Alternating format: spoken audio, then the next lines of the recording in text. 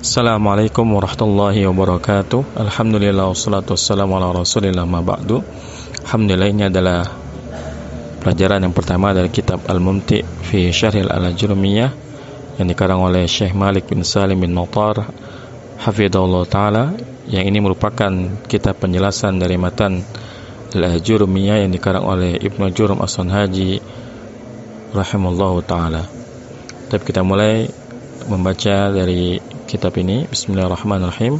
Qala al-musannifu rahimallahu taala al-kalamu huwal lafdzul murakkabul mufidu bil Berkata musannif yaitu pengarang dari kitab Jurmiyah semoga Allah merahmatinya al-kalamu huwal lafdzul murakkabul mufidu bil Kalam adalah lafaz yang tersusun yang berfaedah dengan bahasa Arab. Asyarhu penjelasan. Pada al-musannifu rahimallahu bi ta'rifil kalami li'anna an-nahwa liqamatil kalami Pengarang kitab Jurmiyah memulai kitab Jurmiyah dengan menjelaskan definisi kalimat karena bahwasanya nahu itu yang mempelajari pembentukan kalimat. Faqala al-kalamu wal lafdzul murakkabul mufid bil wati. Maka eh, Ibnu Ajurum berkata kalimat adalah al-lafdzu lafaz al-murakkabu yang tersusun al-mufidu yang berfaedah bil wad'i dengan bahasa Arab fala budda an yajtami'a fil kalami arba'atu umurin. Maka semestinya kalimat itu harus terhimpun padanya empat perkara. Al awal yang pertama ayyakuna lafdhun kalimat itu haruslah lafaz. Apa itu lafaz? Ay sautan mustamilan ala ba'dil hurufil hijaiyati. Yang dimaksud dengan lafaz adalah suara yang tersusun dari sebagian huruf hijaiyah Al-amr sani ya, perkara yang kedua ayyakuna murakkaban. Kalimat itu harus tersusun. Apa itu tersusun? Ay muallafan min kalimataini aw aksar. Yaitu disusun dari dua kata atau lebih. Al-amr salis ya, perkara yang ketiga ayyakuna mufidan. Ya harus berfaedah ya. Ay yahsunu sukutul mutakallimi alaihi. Maksudnya ya eh, seorang yang berbicara ya bisa diam dengan sempurna. Kemudian al-amr rabi ya, perkara yang keempat ayakuna bil wadil arabi ay min kalamil arabi. Ya, syarat yang keempat perkara yang keempat bahwasanya kalam itu harus dalam bahasa Arab ya, maksudnya dari perkataan orang Arab. Di sini kita lihat catatan kakinya yundoru hasyatus sabban wal kafrawi. Jadi silakan lihat lebih lanjut ya mengenai masalah definisi dari bilwati di kitab Hasyat Sabban dan juga kitab Kafrawi. Nahu qalika al-ilmu nafi'un. Contohnya perkataanmu al-ilmu nafi'un. Ilmu itu bermanfaat. Nah, ini adalah contoh kalimat yang pertama yang diajukan oleh Syekh Malik bin Salim. Al-ilmu nafi'un. Kita lihat catatan kakinya. Fal ilmu nafi'un kalamun inda nuhati. Maka kalimat al-ilmu nafi'un ya ilmu itu bermanfaat merupakan kalam menurut ulama nahu. Li'annahu lafdun mustamilun ala ba'dil hurufil hijaiyati. Karena yang pertama dia adalah lafaz. Mustamilun ala ba'dil hurufil hijaiyati yang terhimpun yang terdiri dari sebagian huruf hijaiyah. Wahia al-alifu wal lamu wal ainu ya wahia al-alifu wal lamu wal ainu dan itu adalah alif, lam dan ain. Wa murakkabun litarakkubihi min kalimatani. Yang kedua, ya kenapa al ilmu nafi'un disebut kalam yang kedua dia murakkab tersusun. Litarakkubihi min kalimatani karena ia tersusun dari dua kata. Al-ula al-ilmu, kata yang pertama al-ilmu, wasaniyatu nafi'un, kata yang kedua adalah nafi'un. Wa mufidun li'annahu afada al-ikhbara binafil ilmi dan yang ketiga, kalimat al-ilmu nafi'un itu mufid, berfaedah. Kenapa? Li'annahu afadal ikhbar. Karena dia itu memberikan faedah kabar binafil ilmi dengan uh, bermanfaatnya ilmu. Jadi kalimat al-ilmu nafi'un ini menjelaskan uh, keterangan ya, menjelaskan kabar bahwa ilmu itu bermanfaat. Ubil wadil arabiyyi li'annahu min kalamil arabi. Dan yang keempat karena dia itu dengan bahasa Arab karena li'annahu min kalamil Arab karena al-ilmu nafi'un itu merupakan bahasa Arab. Taib. Wa nahwu qoulihi ta'ala wa kallamallahu Musa taklima. Dan contoh yang lain ya firman Allah Subhanahu wa taala wa kallamallahu Musa taklima.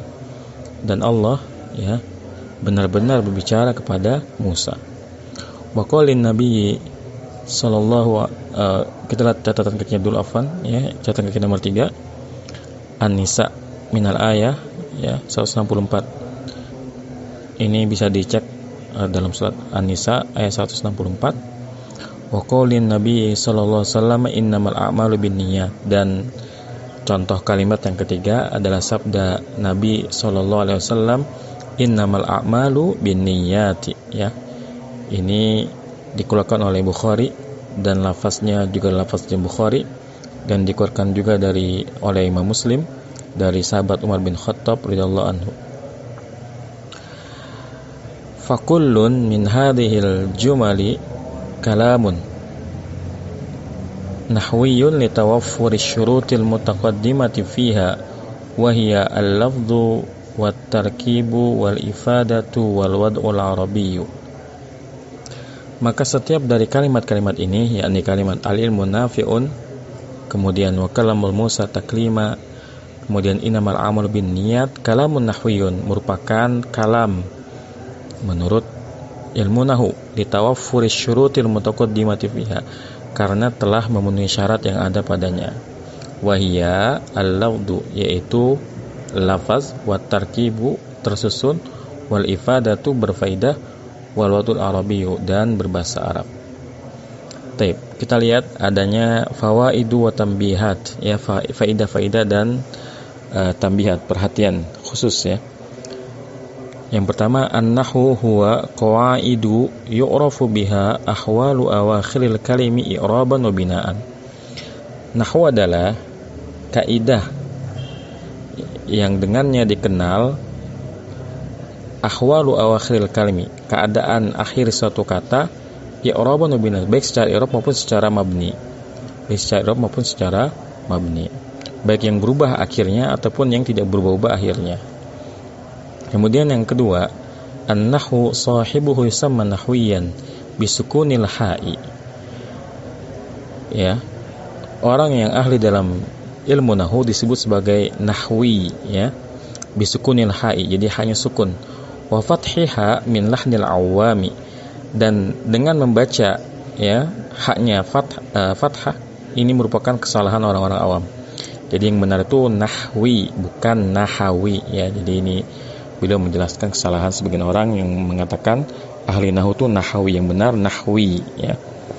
Kemudian yang ketiga kharaja biqaulil musannifi al-lafdhu al-isyaratu wal kitabatu.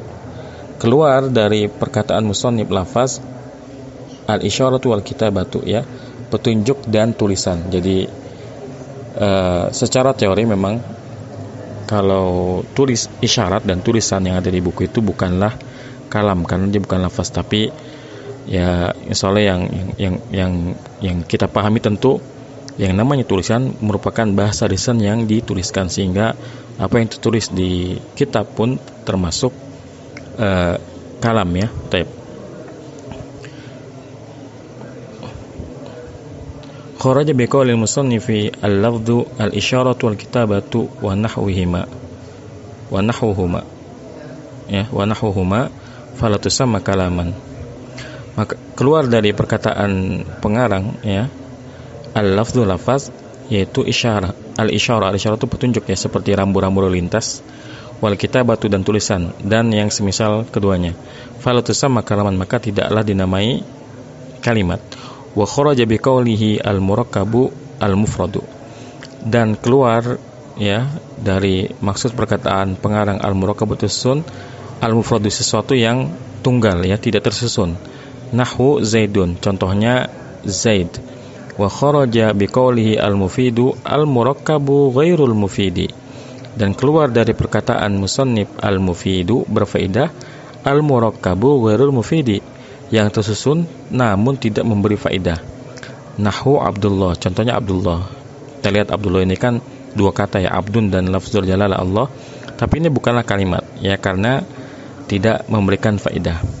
wa in qama zaidun begitupun contoh in qama zaidun jika zaid telah berdiri maka ini bukanlah kalam karena tidak memberikan faedah. Artinya ketika kita mengatakan in qama zaidun jika zaid berdiri pasti orang akan bertanya kenapa jika zaid berdiri? Ya kalau diteruskan baru ya dipahami maknanya. Makanya ini disebut al murakkabu ghairu mufid ya. Tersusun tapi tidak berfaedah. Wa kharaja biqaulihi bil wad'i dan keluar dari perkataannya bil wad'i kalamun ghairul arabi kal ajami wa nahwuhum ya wa nahwi mafad wa kharaja biqaulihi bil wad'i kalamun ghairul arabi kal ajami wa nahwihim. Dan keluar dari perkataan musannif bil wad'i ya dengan bahasa Arab kalamun ghairul arabi ya perkataan yang bukan bahasa Arab. Seperti ya ajam ajam ini istilah yang digunakan oleh orang Arab ya untuk orang-orang non Arab jadi sederhananya ajam itu adalah non Arab wanahwihim dan yang semisal mereka. Tapi barangkali untuk